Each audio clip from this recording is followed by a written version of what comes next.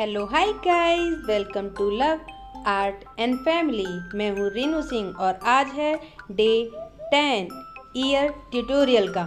तो मैं शुरू हो चुकी हूँ प्रिंटर पेपर पर एच पी पेंसिल लेकर ईयर ड्राइंग के लिए। तो एक रफ स्केच तैयार कर रहे हैं।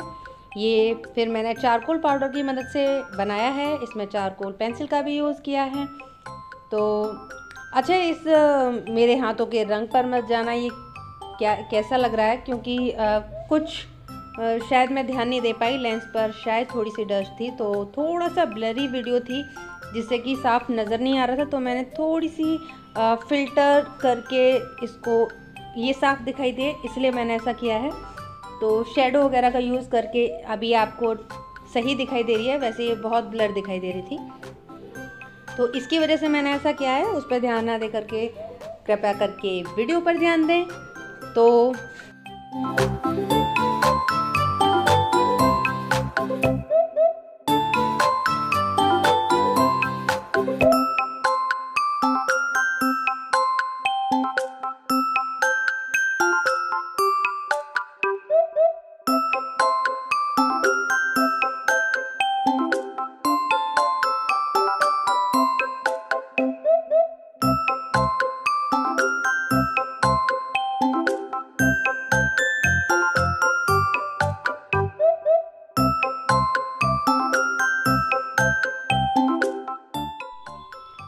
यहाँ पर आप समझ सकते हैं, यहाँ पर ठीक से नहीं दिखाई दे रहा है।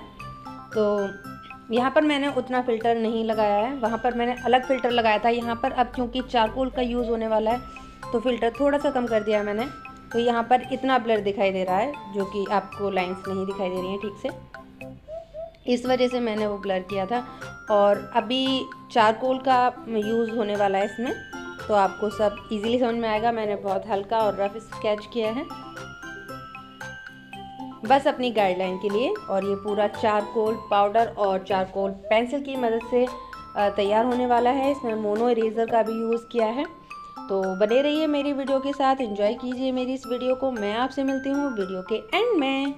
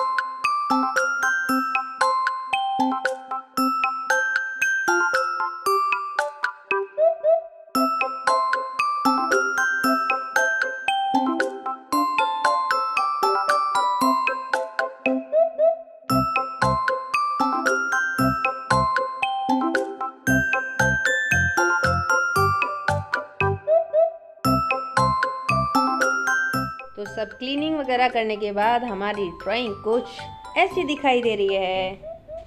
तो आई होप आपको मेरी ये वीडियो पसंद आई होगी। अगर पसंद आती है तो लाइक कर दिया करो कमेंट कर दिया करो शेयर और सब्सक्राइब भी कर दो यार। Thanks for watching bye bye